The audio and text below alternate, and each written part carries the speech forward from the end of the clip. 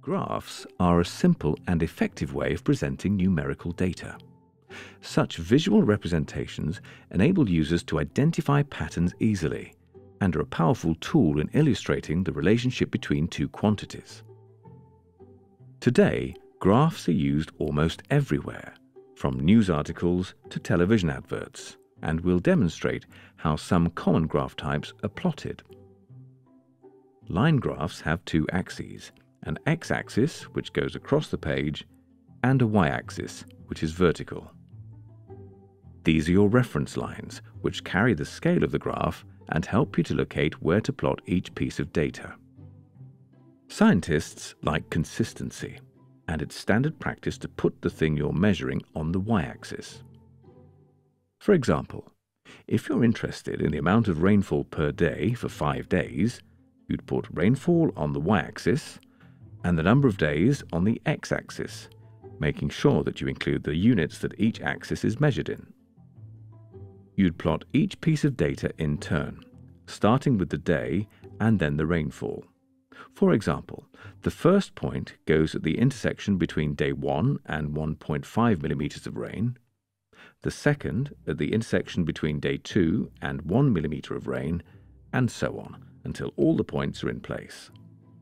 And because this is a line graph, consecutive points are then connected with a line. Bar graphs are similar in their structure, also having an x and a y axis. Bar graphs are most commonly used to plot the frequency of something in specific categories. If we use the same data as the previous example, the day would be the category, plotted on the x-axis, and the rainfall represents frequency, which is plotted on the y-axis. This time, instead of a point at the intersection, each day category has a bar or column with its height reflecting the rainfall experienced on that day. The final type of graph, commonly presented in newspapers or during news articles on TV, are pie charts. Like bar graphs, these also use categorical information. They begin with a circle, which is then divided into sectors, the size of which represents the relative size of each value. Once complete, your graph would look like this. To calculate the size of each sector, it's easiest to calculate each category's value as a percentage. However, these graphs are more difficult to plot by hand than the other examples and are often plotted on a computer, which works out this step for you.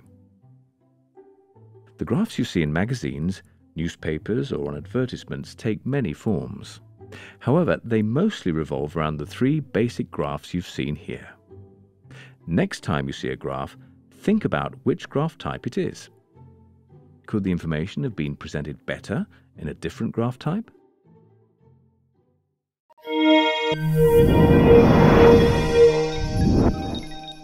Get more from the Open University.